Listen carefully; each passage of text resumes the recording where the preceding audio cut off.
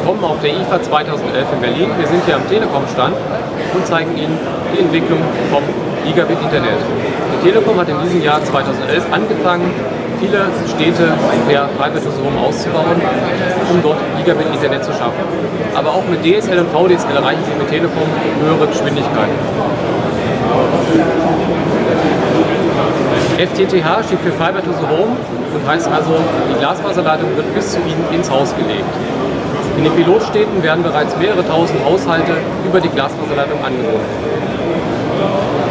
Sie sehen im Hintergrund jetzt den Vergleich, wie schnell der Download einer 500 MB großen Datei ist, also zum Beispiel ein kurzes Video bei YouTube mit einem DSL 3000 Anschluss, der heute noch in vielen Bereichen Standard ist, dauert dies etwa 22 Minuten. Mit einem DSL 16000 Anschluss ist dies schon deutlich schneller möglich, in etwa 10 Minuten.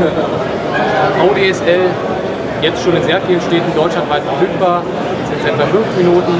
Und mit dem kommenden Jahr verfügbaren Telekom FTTH-Tarifen, also die Telekom Fiber-Tarifen mit bis zu 200 Mbit, ist ein Download einer 500 MB-Datei in wenigen Sekunden abgeschlossen.